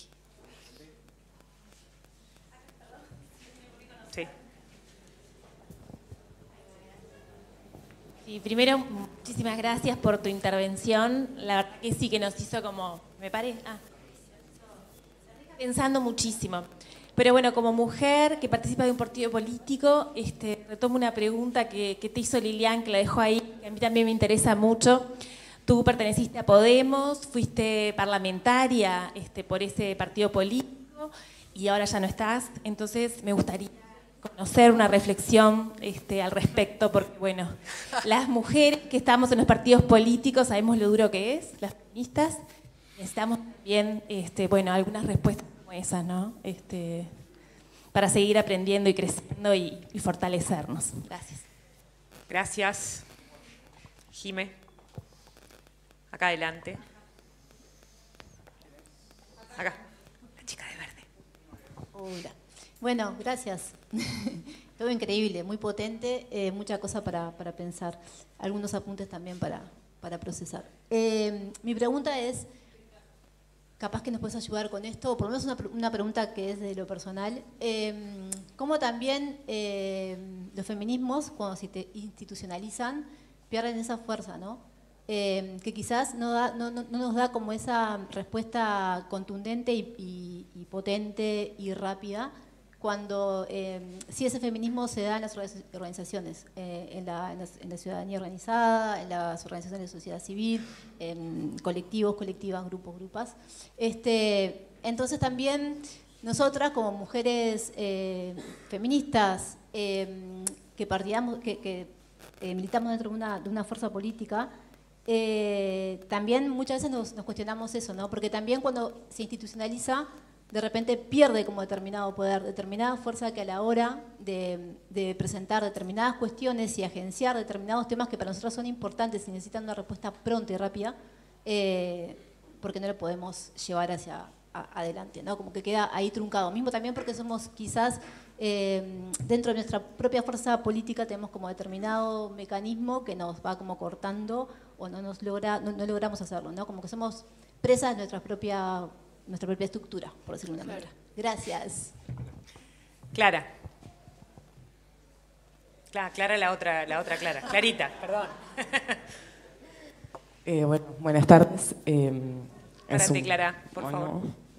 Eh, bueno, buenas tardes. Es un placer tener a Clara y a Liliana en la mesa. Eh, un poco lo comentaba con las compañeras de que para nosotros a veces es muy natural hablar de territorialidad y de militancia de base eh, y de cómo esto se construye en un frente amplio que hoy en día está tratando de, dialogar en este bloque político y social de los cambios y que creo que nos desafía en estos momentos en esto de quién es el sujeto del feminismo o quiénes somos, cuál es la potencia de, del movimiento, no solamente como hecho histórico y hecho político, sino como un espacio donde a veces las mujeres lo sostenemos, pero no estamos, ¿no? Porque hoy en día acá estamos quizás un montón de compañeras que podemos, pero sin embargo el 65% de las mujeres uruguayas están sosteniendo ollas populares, por ejemplo. Entonces, porque este gobierno no solamente no responde, sino que no se hace cargo de la seguridad alimentaria. Entonces, ¿cómo dialogar con compañeras que, sí, por ejemplo, son de España o que son de otros países, con un feminismo de América Latina que no sea únicamente blanco, que no sea únicamente académico, sino que sea de base? Eh, y cómo hacernos cargo también desde el Frente Amplio para poder no solamente dialogar, sino construirlo, que creo que no es solamente el desafío de qué feminismo queremos, sino de quiénes van a ser parte de ese feminismo. Gracias. Gracias. La compañera acá. Clary, si le pasas ahí. Y, y uno, uno más, la compañera y una persona más, porque si no, no le vamos a dejar responder. ¿Qué tal? Buenas tardes. Bueno, primero que nada, eh, quedó bien en claro, es muy rico el cómo cambiar qué feminismo y cómo trabajar desde la política y transformar la política, lo cual dejas una herramienta para dejar pensando este, a Fernando, ¿no? Eh, el potencial que tenemos como mujeres, pero lo rico de esto, incorporar la diversidad de género, ¿no? salir de masculino-femenino, la integración. Así que bueno, me llevo eso. Y mi pregunta es, tienes una transformación cultural, estructural, ¿cómo lo pensás desde la política, desde las bases o de qué manera? Porque es un cambio cultural. Esta charla se tendría que multiplicar en diferentes espacios, ¿no? Lo pienso. Entonces mi pregunta es, ¿de qué manera podría transformar la cultura? Pues fue muy general, puntualizar de qué manera, el cómo, ¿no? Eso. Bien, Adriana, y cerramos algo que alguien acá adelante, muera por hablar.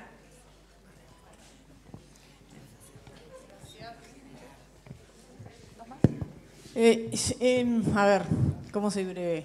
Eh, no, en general soy breve, pero... Yo te voy a hacer, vos mirame que yo te hago así.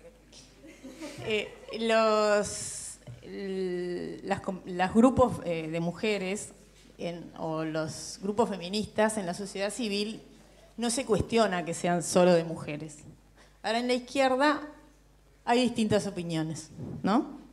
Entonces, con tu experiencia en Podemos, este, me gustaría saber cuál es tu opinión con respecto a que en las organizaciones políticas de izquierda haya, este, no importa cómo se llame, se llama área mujer, se llama como se llame, que sea solo integrada por mujeres. Gracias, Adriana. ¿El Colorado?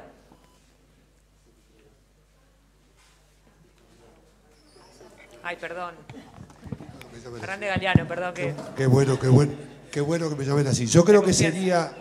Parate, por, Parate, por favor. Creo que sería una... Voy a ser extremadamente breve. Creo que sería una mala recepción del, del planteo que hizo Clara que ningún hombre levantara mano, estaba esperando que lo hiciera otro.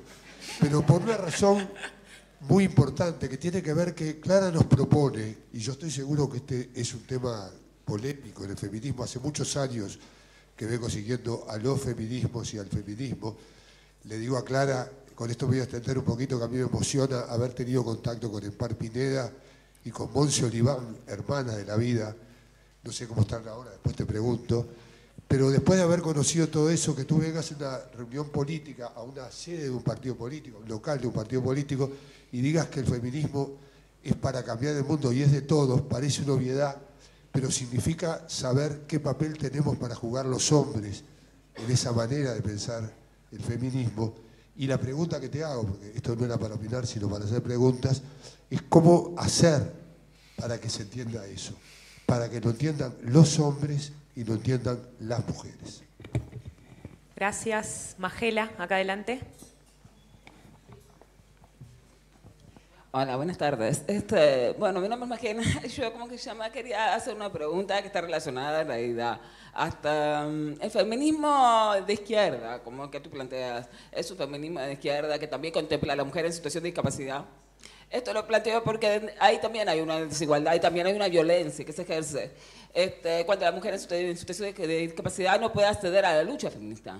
¿Se entiende? Entonces, eh, lo que estoy tratando de preguntar es cuál es el rol del feminismo de izquierda, digamos, cuál es el rol que va a tomar, digamos, y qué, cuál es el rol que va, ¿cómo que se llama?, desarrollar para lograr, digamos, de que haya un espacio de, de verdad dentro del feminismo para la mujer en situación de discapacidad.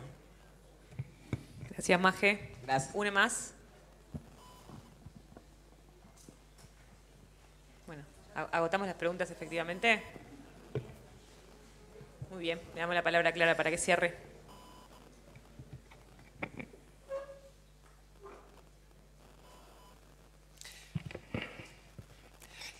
Bueno, con respecto a la cuestión de cómo puede hacerse un feminismo, eh, claro, tu pregunta creo que es cómo integrar eh, las situaciones de diversidad que atraviesan al colectivo mujer, ¿no? Creo que todas tienen que estar integradas. Creo que un feminismo interseccional en ese sentido tiene que atender a la gran diversidad de situaciones y de lugares en los que pueden estar las mujeres, ¿no? Entonces, entiendo que tienes que ser eh, atento, por supuesto, a la inclusión de las mujeres con, diversidad, ¿no? Y los hombres, evidentemente. y muchas otras circunstancias y muchas otras situaciones particulares de las mujeres. Y esto siempre nos, nos implicará, yo creo, en el feminismo, probablemente una... De hecho, por eso creo que las fronteras del feminismo no deben cerrarse nunca, porque creo que muchas veces nos olvidamos de cuántas cosas han quedado fuera, ¿no? Y entonces esa, digamos, esa conciencia de que el sujeto tiene que ser siempre provisional o que siempre tenemos que ponerlo en duda o que siempre tenemos que revisarlo críticamente, creo que es la actitud crítica que tenemos que tener. Es decir, cualquiera que pretendiera decir, bueno, ya estamos todas y ya nos hemos tenido a todas en cuenta, probablemente esa es la actitud mm, que directamente nos dirige hacia un feminismo que excluya ¿no? y que deje a algunas mujeres olvidadas. Entonces, evidentemente creo que, esa reivindicación y esa llamada de atención es importantísima. preguntabais cómo, hacer que esto se entienda por parte de mujeres y hombres. Em, mm, creo que hay una parte que es defenderlo. Defenderlo. resistan es una de las primeras. Y creo que con mucha paciencia, decías tú, con mucha paciencia, porque a ver, siempre hemos tenido que tener mucha paciencia. Y, mm, y yo creo que va a haber que seguir teniendo mucha paciencia y que, y que comprometerse políticamente con una causa que pretende cambiar la mentalidad y eh, los prejuicios implica armarse de paciencia. Porque a veces decimos, bueno, ya se me ha acabado la paciencia, ¿no? Y decimos, como ya estoy harta de, explicar las cosas, ya estoy harta de explicarle a los hombres las cosas. Yo creo que tendremos que seguir eh, defendiendo ideas con pedagogía, con mano izquierda, con voluntad de persuadir y de convencer, no solo a los hombres, a muchas mujeres también, ¿no? Y, mm, yo creo mucho en la capacidad revolucionaria de un feminismo que quiera tener esa actitud eh, pedagógica, pedagógica. O sea, creo que, mm, creo que uno de los retos también del feminismo en este contexto es no caer en esa bronca, esa confrontación, esa beligerancia, esa, esa hostilidad que muchas veces se ve, desde luego, en redes sociales, es el es lugar para verlo, ¿no? Y que nunca construye nada, ¿no?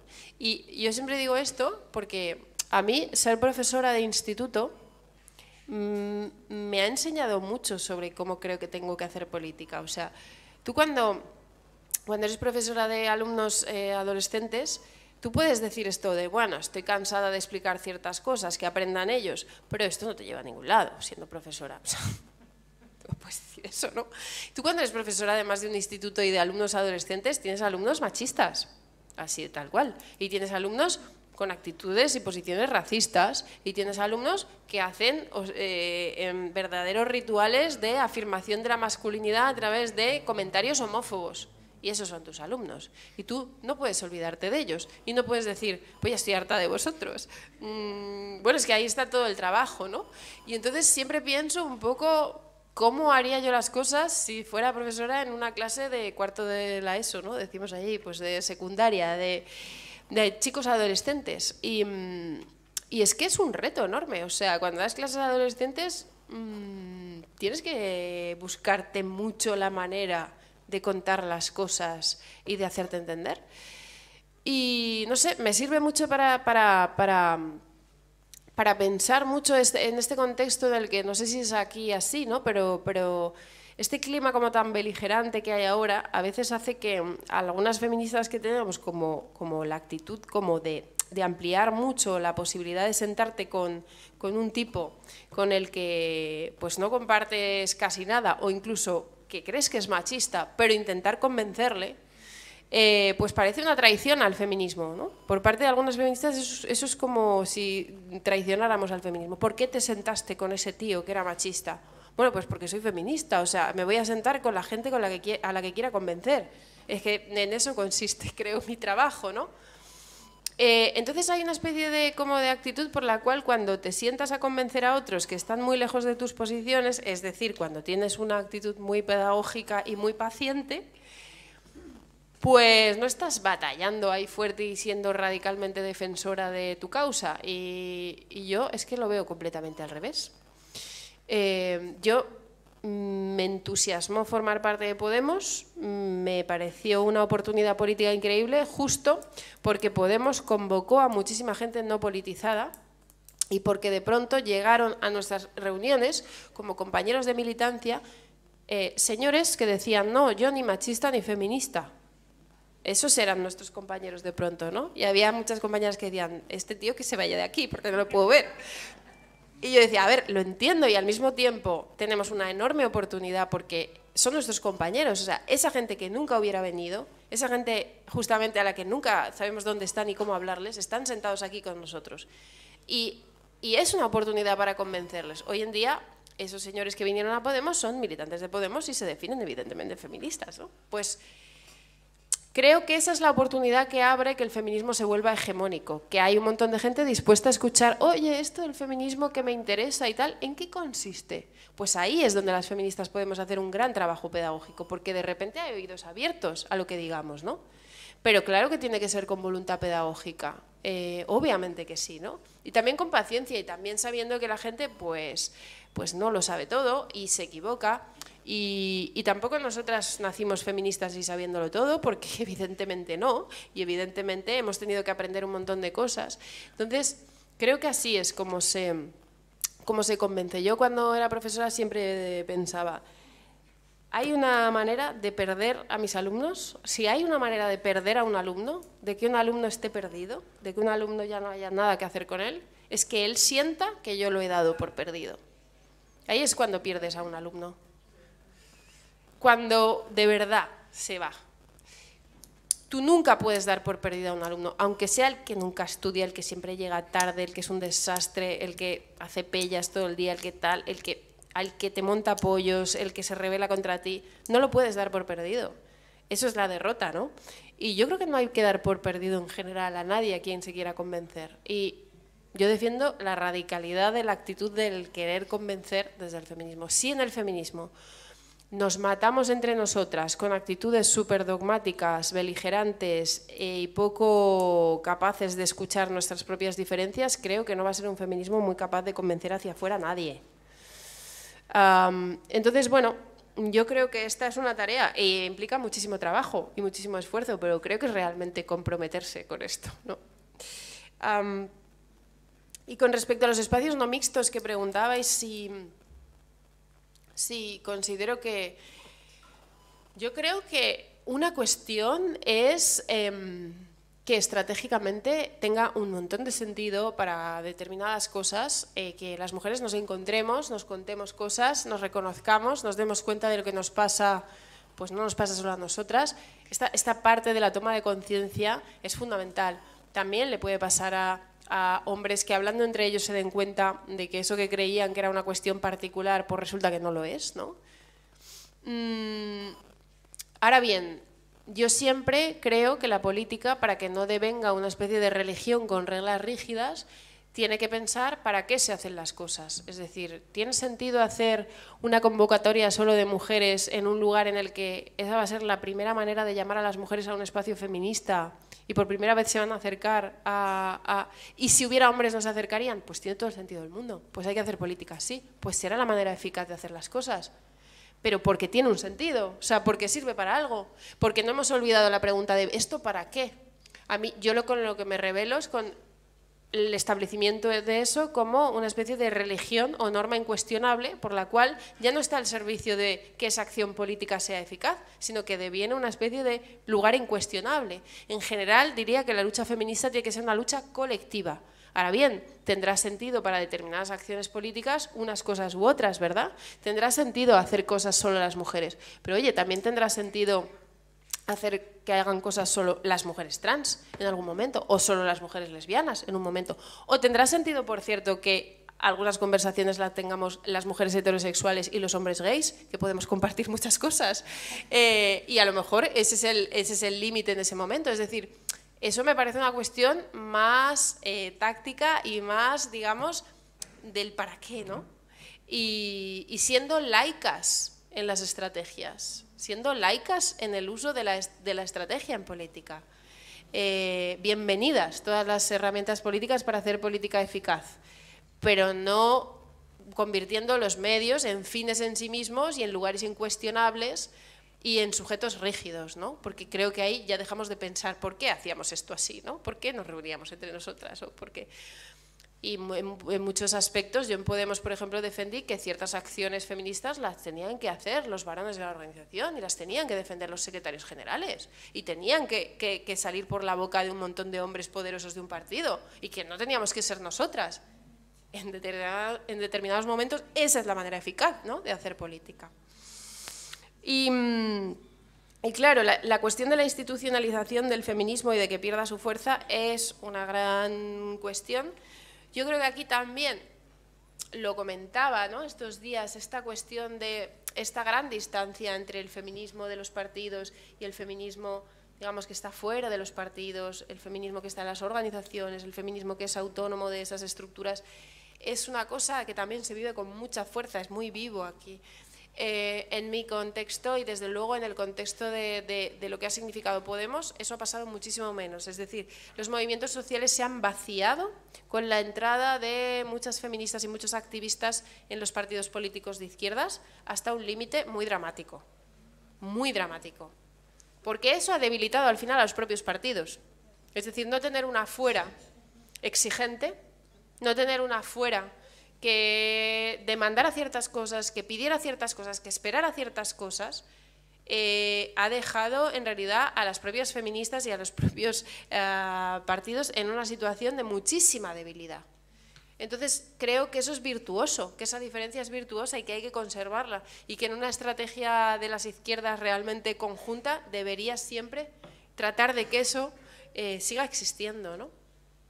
Porque yo creo que cuando eres una feminista y entras en una estructura donde tienes que pelearte con la estructura, un partido es un lugar donde tienes que pelearte con la estructura, una institución es un lugar donde tienes que pelearte, eres un poco extraña y eres un poco eres un poco una alguien a quien no se le espera y las reglas no están para que tú estés ahí. Y si no cambias de alguna manera las reglas, te cambia a ti esa propia estructura, ¿no? Y esas reglas de juego para resistir a esa transformación, para que tú puedas cambiar las cosas en vez de que las cosas te cambien a ti, necesitas una fuera. Necesitas una fuera en el que apoyes. Necesitas alguien que reclame fuera cosas. Si no, estás sola allí, ¿no? Entonces, eh, me parece absolutamente imprescindible que las feministas que dan batallas dentro puedan decir, ahí fuera hay un montón de compañeras feministas pidiendo todo esto. Así que yo solo puedo defender aquí esto, ¿no? Esa ha sido mi manera de ganar cosas en los partidos, tal cual. Si no hacemos esto, os, veréis la que viene. Pero tiene que, haber esa, presión, ¿no? Y si no, pues eh, no hay poder real para las mujeres feministas en las estructuras, eso sí. la pregunta de por qué dejé la política es, mm, mm, es muy complicada. No es muy, o sea, es íntima en parte y en parte no, en el sentido de que yo nunca me pensé a mí misma como haciendo política siempre. Yo siempre lo viví como un momento excepcional en, mi país que, que, merecía la pena dejarlo todo, literalmente todo, o sea, todo. Eh, todo, es decir, desatenderse a uno mismo hasta límites increíbles, em, porque eso fue como un momento eh, una ventana de oportunidad que, justificó muchísimos sacrificios eh, personales para muchísima gente que lo dejamos todo, literalmente. Alguna gente dejó de acabar sus carreras, alguna gente dejó de emprender eh, carreras profesionales y ya no las puede casi emprender a día de hoy. Alguna gente, bueno, muchas cosas, ¿no? y yo lo hice muy motivada porque eso eh, pues era un momento en donde íbamos a transformar muchas cosas. Pero yo no voy a estar en política a cualquier precio y para mí en un determinado momento eso dejó de merecer la pena, sobre todo porque ya no estaba de acuerdo con el funcionamiento interno de, un de ese partido y de esa organización. Para mí mm, siempre fui muy crítica con estas estructuras de partido hiperverticales con las que hay que pelearse si eres feminista y en un determinado momento yo sentí que yo servía más para validarlas que para cambiarlas. Y que yo ya no tenía capacidad para transformarlas y que más bien era el sello de validez que muchos varones de ese partido ponían a, sus, a lo que hacían, con lo que yo no estaba de acuerdo.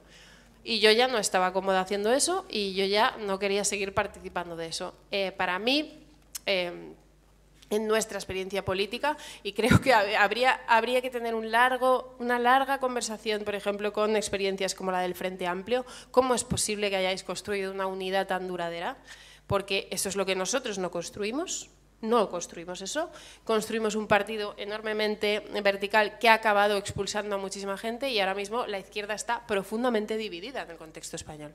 Hay un montón de gente que se ha ido, ha montado otros partidos y compiten electoralmente a día de hoy. Podemos compite con Más Madrid, ahora tenemos una candidata que es Yolanda que competirá probablemente con Podemos. Es decir, no hemos sabido hacerlo. Y yo creo que construimos estructuras hiperjerárquicas absolutamente eh, agresivas para las mujeres, es decir, que eh, expulsaban profundamente a las mujeres, con un poder muy vertical, eh, con un poder muy centralista que ha generado una expulsión de muchísima gente y además una lógica de competencia que ha llegado a ser electoral, como es a día de hoy. Y entonces mm, yo ya no quería estar ahí, eh, no me parecía que estuviéramos haciendo algo ilusionante y que yo quisiera defender y creía que tenía que, muchas cosas que hacer si salía de esa estructura y que iba a seguir haciendo política desde otros lugares y que iba a seguir haciendo feminismo desde otros lugares donde me iba a sentir más útil. Y ahora me siento más útil, siento que puedo decir más cosas, sigo evidentemente eh, influyendo y estando muy al lado de partidos con los que soy muy afín, de partidos de izquierdas, pero, pero yo no voy a validar cualquier cosa y creo que en algún momento tiene valor irse de los sitios y decir yo así no y con esto no, ¿no? Entonces, bueno, esa fue mi decisión. Eso no quiere decir que yo no estaría súper dispuesta a volver a defender un proyecto que me creyera muchísimo, pero no era ese proyecto ya el que yo me creía muchísimo. y bueno, con, la cuestión de la pornografía, eh, en nuestro contexto, en el contexto español, el feminismo hegemónico que gobernó durante muchísimos años las instituciones y hizo políticas públicas, que es el feminismo del Partido Socialista, ha sido, a mi juicio, un un feminismo que ha decretado determinados tabús. El trabajo sexual ha sido un tabú y la pornografía ha sido un tabú. Ahora es el feminismo que más beligerante es con la cuestión trans y la inclusión de, o, la alianza entre el feminismo y el movimiento LGTBI, pero ha decretó el silencio sobre algunas cuestiones vinculadas a la sexualidad y yo pensaba que Podemos tenía que venir a romper ese tabú. O sea, que simplemente defender que se tiene que poder hablar desde el feminismo de la, de la cuestión de la pornografía, hablar, discutir sobre eso. Ya era muy simbólico. Y que un partido de izquierdas organizara un debate sobre eso, claro, por eso se montó el revuelo que se montó, porque era muy extraño en un contexto de ese feminismo imperante, ¿no? Y yo creo que hay muchos debates pendientes sobre el trabajo sexual en general, la pornografía, pero en ese momento simplemente abrir el debate, y además hicimos un debate con diferencia de posiciones, ¿no? Había una actriz porno, había una militante de nuestro partido que era abolicionista, pero yo quería romper ese tabú, ¿no? Creo que eso ya tenía mucho valor. Bueno, bueno millones de gracias a Clara. Creo que...